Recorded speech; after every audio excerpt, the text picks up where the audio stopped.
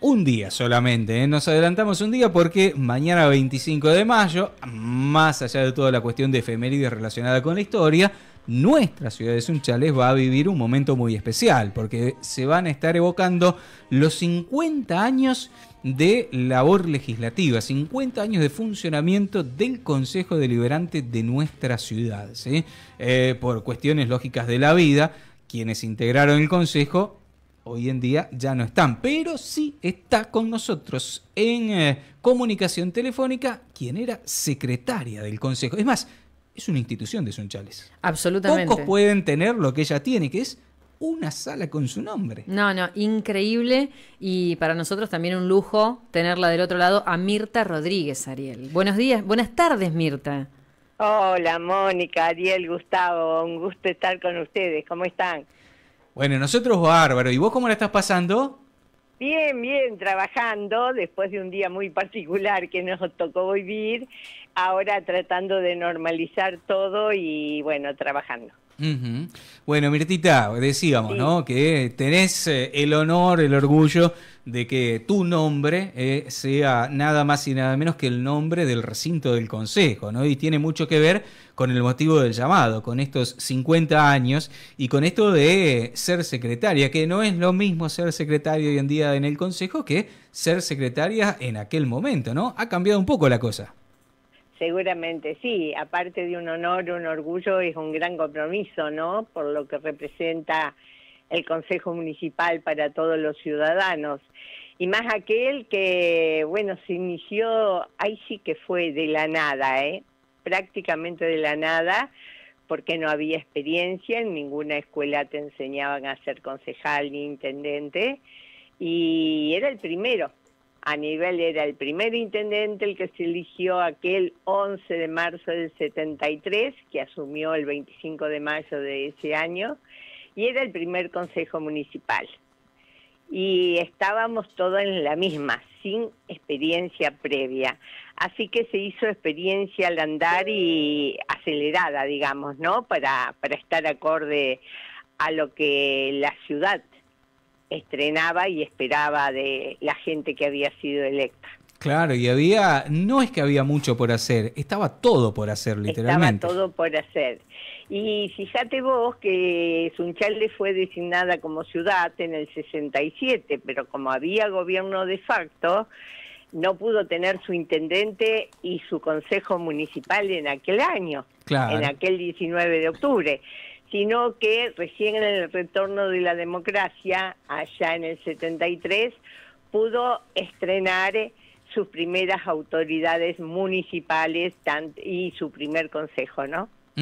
Exactamente. Bueno, y contanos un poquito cómo era la relación, eh, porque se habla mucho, lógicamente, de cómo era el Consejo en aquel momento, de mm, cómo era el día a día, ¿sí? Entre el Ejecutivo y el Legislativo, porque, como dijimos antes, había que hacer absolutamente todo en la ciudad de Sunchales y, bueno, para esto eran necesarios consensos. Y las, vamos a empezar. Las reuniones eh, ordinarias se realizaban los días martes a partir de las 20. Las de comisión se llevaban a cabo los días jueves, también a partir de las 20. Entonces no extrañaba que eran la, la una de la madrugada y nosotros estuviésemos allí si había temas muy álgidos que definir, ¿no?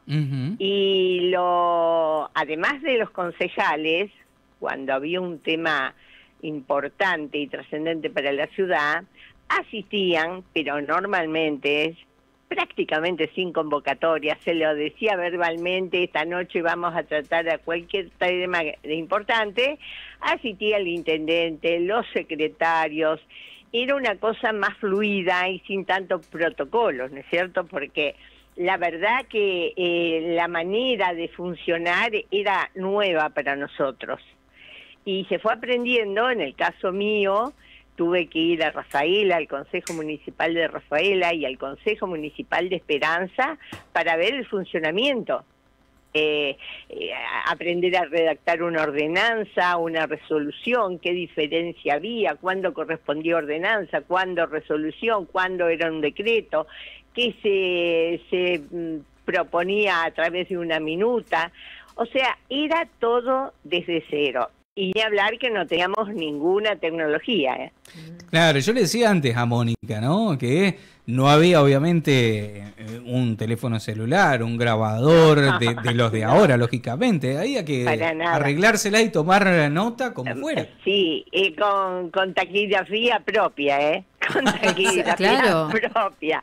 Porque ni los signos de la común y de la que se aprendía en aquella época. Nada alcanzaba. Eh, nada, nada. Eh, se entendía solo uno. Y lo dramático del caso era que cada uno defendía con capa y espada los fundamentos que esgrimían para defender a cada proyecto y quería que constara en acta tal cual. Entonces había que súper esmerarse y esos deditos eran mágicos porque después eran kilométricas las actas y todo a mano, y todo a mano y a memoria porque a veces la taquigrafía no alcanzaba. Así que eh, después, eh, en la lectura, en la sesión posterior, estaban las orejotas paradas para ver si reflejaba el acta tal cual lo habían dicho cada uno de ellos. Así que, pero realmente se trabajó con mucho, con mucho fervor, porque eh, se defendía de cada proyecto con mucho mucha fuerza, pero con mucho respeto. Hay muchas cosas que quedaron y que a uno lo llenan de orgullo, porque a pesar de todas las carencias en cuanto a conocimiento del manejo de una sesión y, que fuimos aprendiendo sobre la marcha y también eh, de un montón de cosas, eh, siempre se priorizó eh, llegar al acuerdo para el bienestar de la ciudad. Hay una anécdota que teníamos cuatro bloques en ese momento. Estaba el demócrata progresista con este, Luciano Escaracía y Aldo Costamaña. Estaba el bloque del radicalismo con Carlos Toselli. Eh, el PJ con Bernardino de Marchi y Julián Ibalboroná. Y el Frijuli, que era el Frente Justicialista de Liberación, que lo representaba el edil Italo Palomeque. Entonces cada uno tenía una postura y la defendían con uñas y dientes. Y un, un día quedó la anécdota, ¿no? Llega el señor Palomeque y propone darle como denominación a, la plaza del barrio Sancor que se llamara este, Lealtad. Claro, porque era de la camiseta del partido que él defendía, ¿no es cierto? Y el, doctor Costamaña lo escuchó y le dice, yo eh, le sugeriría, estoy de acuerdo que debe llevar un nombre, pero la gente que va a estar en esa plaza va a ser de todos los partidos, no de uno en especial. ¿Qué le parece si para significar a todos le ponemos Plaza de los Trabajadores? El señor Palomé que lo pensó y dice, tiene razón, doctor, acepto su sugerencia. Y así se llama Plaza de los Trabajadores, la que está allá en el barrio Sancor. Y así, de esa manera, pero tenía que justificárselo y fundamentárselo muy bien, el no acuerdo con lo propuesto, ¿no? Pero así se trabajaba y cuando llegó aquel fatídico 24 de marzo, realmente les puedo asegurar, chicos, que fue un momento muy duro, muy difícil y no tengo vergüenza de decir que se nos cayeron las lágrimas a todos, ¿no? Porque eh, se habían hecho dos años y ocho meses de trabajo intenso, se había logrado ya este, establecer un sistema de trabajo que ya estaba aceitado y mm, lo más importante que se estaba trabajando este, con sus diferencias, por supuesto, pero con mucho respeto tanto entre sí como hacia el Departamento Ejecutivo y al resto de las autoridades. Eh, ¿Sabes, Mirta, que yo estuve mm, accediendo en este último tiempo, en mis ratos libres, en lugar de ponerme a jugar con, un celular, me puse a leer algunas ordenanzas viejas y le pedí a las chicas del consejo que me pasen las primeras ordenanzas. Me llamó mucho la atención que la ordenanza 1 de 1973 habla acerca de la permanencia de chicos menores de edad en el cine. Yo hubiese pensado que la primera ordenanza de Sunchales tenía que ver con algo administrativo, el presupuesto, después vienen esas. ¿eh? Hay aumento de tasas también, viene- pero Claro. Y ahí, eh, ahí te das cuenta, ahí te das cuenta que eh, no teníamos eh, training de, de trabajo de consejo municipal. Fuimos aprendiendo con el andar.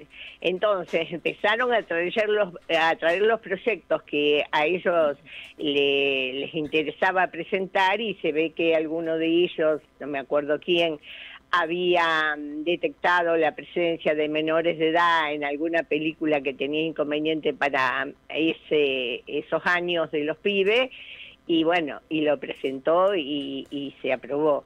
Trabajaban, Pero- tra- trabajaban, me parece, en función a lo que realmente necesitaba en ese momento la Exacto. sociedad, Mirta. Exacto. Que mm, no sé si no estaría bueno que calle. volvamos también un poquito a eso, ¿no? Sí, sí, sí, porque hacían, eran, eh, Sunchales era mucho más chico, convengamos Claro. también, ¿no? Estamos hablando de 50 años atrás, y era una etapa que yo creo que se le imprimió el, el cambio de pueblo a ciudad de a poco, ¿no? Se inició ese cambio, ahí se le dio un- una vueltita como para que empezara. El doctor Costamaña, me acuerdo, pero de por vida me voy a acordar, que él era un fanático eh, de que se estableciera para la ciudad un plan regulador, que cada cosa estuviera establecida en su lugar, dónde estaban las industrias, dónde estaría tal cosa, o sea, ordenar la ciudad mediante un plan que estipulara dónde tenía que estar cada cosa. Y era un adelantado para aquella época indudablemente, porque de esa manera, este, si se hubiera cumplido a rajatabla y no se hubiera archivado un montón de años, en un montón de oportunidades, quizás estaría mejor ordenada la ciudad también, ¿no? Claro. Sí, habría crecido en función a un ordenamiento Claro. ya preestablecido. Claro, porque tenía todos los ítems realmente, y después no sé qué pasó con eso. ¿Qué nos pasó en el medio? Qué, buena pregunta, Mirta. ¿Qué nos pasó en el, en el pasaron medio? cosas. Sí, Lo que pasa, lo que pasa que hubo un, un, bl- un bloqueo de desde el 76 y el 83 que vaya a saber dónde fue a parar el plan regulador. Porque los gobiernos que vinieron quizás tenían otra otra mirada de cómo hacer las cosas y bueno, le hicieron a su manera. y también después fueron surgiendo otras necesidades en el camino que priorizaron, Claro. que se debieron priorizar. Fue un cambio importantísimo, pero lo cierto es que mientras charlamos con vos, Mirta, miramos fotos, sí, que tenemos que tenemos aquí, le vamos pasando y la verdad es que mm, cuántos cuántos cambios por un lado y veo el frente del municipio Igual. eh, igual. Igual. Exacto. Un edificio que el- la gestión socialista comenzó ayer allá por 1939. La década del 40. 39, Sí, exactamente. Sí, sí, sí. Ujú. para allá al comienzo de la sí. Y, y les cuento que el Consejo del 73 ocupaba lo que hoy es el Salón de los Acuerdos, esa era la sala de sesiones que teníamos, en el extremo, eh, o sea, en el ingreso a la sala de sesiones había un, un reducto chiquitísimo que era nuestra cocina, y ahí donde hay una puerta actualmente para ir a la oficina del hoy señor intendente, estaba mi oficina. Esa era toda la dependencia que tenía el consejo. Así que eso también le da la pauta de lo, de lo reducido que era todo. Y nos prestaron una máquina Remington, chicos, Remington. Desde que una empresa de acá de Sunchales nos facilitó esa máquina, la primera máquina que usé desde el 73 al 76 que me fui. Me, me- me queda esto dando vuelta. Nos prestaron. Sí, nos prestaron. Eh, claro. Qué loco, Sí. Mirta. No, no. Qué loco todo, ¿no? Para, para cómo vivimos Sí. hoy, todo con, con la tecnología, con lo rápido que se vive, con las actualidades. Sí, Fíjate vos que yo este, era, era la secretaria y a la vez hacía los partes de prensa para todos mis colegas porque yo no seguía ejerciendo, no seguía trabajando en Diario Castellanos de Rafaela, sí seguía con ellos haciendo deportes, pero no como periodista a cargo de interiores como estaba yo hasta el momento del ingreso en Diario Castellano. Así que hacía los partes de prensa de las sesiones y de toda la actividad del Consejo para no aburrirme. Pasó y corrió, como dicen, mucha agua debajo del puente. Sí. Sí, muchos años y se vinieron los reconocimientos. Se vinieron, como decía recién Ariel, una sala con tu nombre. Sí, realmente eso yo fue inesperado para mí, totalmente inesperado. Este, nunca se me hubiera ocurrido y para mí, como te decía al comienzo, no solamente es orgullo, es agradecimiento, sino que es un compromiso, ¿no? porque lamentablemente en este momento solo nos queda este, físicamente junto a nosotros el señor Italo Palomeque y mm, los demás ya no están y de alguna manera me toca a mí tomar la posta y representarlo y contarles a todos ustedes que son las nuevas generaciones de qué manera se gestó, de qué manera se llevó a cabo y, y bueno, seguramente hubieron muchos errores, pero que le pusieron el alma y el cariño por Sunchales prevaleció ante cualquier color político, se los puedo asegurar. Qué importante. Al punto que le, le, voy a contar otra anécdota que refleja lo que le estoy diciendo. Cuando llegó el momento de elegir secretaria, ¿qué pasó? Cada uno de los bloques quería este que fuera de, su color político. No se pusieron de acuerdo. De entrada nomás ya tuvieron esa dificultad y no ah, se pusieron de acuerdo. Entonces, ¿qué hicieron? Dijeron que iban a citar un concurso de oposición y antecedentes. Así convocaron un sábado por la mañana, este, un 25 de marzo, un sábado por la mañana, fuimos a las 8 de la mañana, ahí estaba antes de ser modificado como está actualmente eh, el Palacio Municipal, que está el hall y antes había todas oficinas distintas a como están eh, ubicadas ahora, y ahí en tanda, éramos 76 los postulantes y ahí nos tomaron el examen, la gente del Banco Rural de Recursos Humanos sería ahora, eh, tomó el examen y lo corrigió. Y bueno, y un 11 de abril yo estaba en la casa de Adriana Centurión porque éramos muy amigas, ahora ella está radicada en Buenos Aires, pero todos sabemos que fue la primera basquetbolista de Sunchales que jugó a nivel internacional. Y bueno, eh, tocaron el timbre, salió la madre y un señor llamado Carlos Toselli eh, le dijo, vengo a buscar a Mirta. Dice, ah, sí, ya la llamo. Eh, bueno, salí, no lo conocía yo, no conocía a, ninguno de los concejales, yo tampoco. Eh, me dijo que era integrante del Consejo Municipal y que venía a comunicarme que había resultado electa secretaria. Casi me desmayé, chico, porque a partir de ahí eh, es como que tuve que hacer un, curso acelerado, ¿no? Pero pero estoy feliz de haber vivido esa experiencia, este, realmente agradecida a la vida y mm, nunca voy a olvidar eh, todo lo que aprendí, lo que compartí con esa gente que fueron los primeros electos por el pueblo que representaron sus intereses, ¿no? Qué bueno, qué bueno esto de, poder contar eh, con, tus historias, Mirta, ¿no? Después de 50 años, bueno, poder tener eso fresco también, ¿no? Y no olvidarse de la memoria. Recién mencionabas el Banco Rural, bueno, ese va a ser otro de los temas que vamos a abordar en esta tarde. En un rato nada más vamos a tener la visita de Luis Fisore.